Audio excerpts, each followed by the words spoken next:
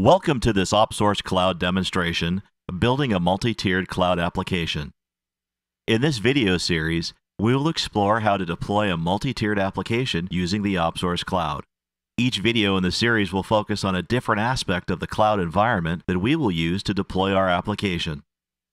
Our goal is to demonstrate the ease with which you can deploy and configure an application in the OpSource Cloud.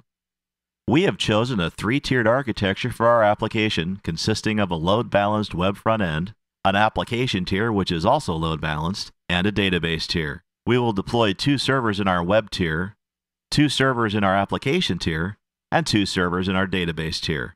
Our application is a zip code lookup tool which has been previously developed and added to our custom server images that we will use in the creation of our cloud application.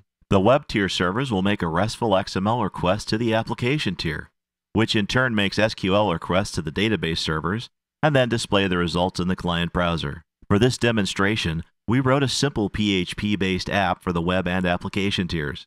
Our database servers are running the popular MySQL server. In the following video segments, we will show you how to configure each element required to create our multi tiered application.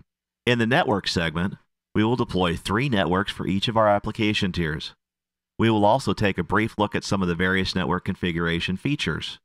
The server segment will show how to deploy servers to each of our tiers. Additionally, we will go over how to add or remove CPU and memory to each of our servers, as well as how to add additional local storage volumes. Load balancing is an important feature which allows us to add fault tolerance to our application. We will configure virtual IPs to enable basic load balancing of our web and application tiers.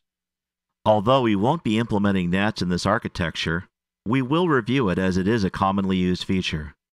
Firewalls are important to any publicly accessible website. We will show how the ACL rules are used to grant public access to our application. Additionally, we will grant access between the application tiers. The OpSource Cloud user interface allows us to manage user access and delegate roles to various users in the account holder's organization. We will take a brief look at some of the options available to help us manage the OpSource Cloud. And finally, we will summarize our application deployment and talk about features of the OpSource Cloud that we feel differentiate us from other cloud providers.